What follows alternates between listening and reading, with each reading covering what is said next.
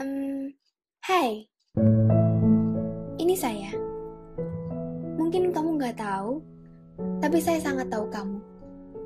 Kamu yang punya sepasang mata paling menakjubkan. Senyuman yang tidak perlu lagi dipertanyakan indahnya seperti apa. Ketika pertama kali ketemu kamu, itulah saat pertama saya percaya dengan teori jatuh cinta pada pandangan pertama. Pertemuan itu udah lama, it's been a really long time actually. Tapi baru sekarang saya putuskan untuk membuat surat bodoh ini ke kamu karena ternyata saya belum bisa memindahkan hati saya dari kamu. Well, I know, ini benar-benar aneh. Tapi saya menikmati ini semua, mencintaimu dari belakang. That's really fun.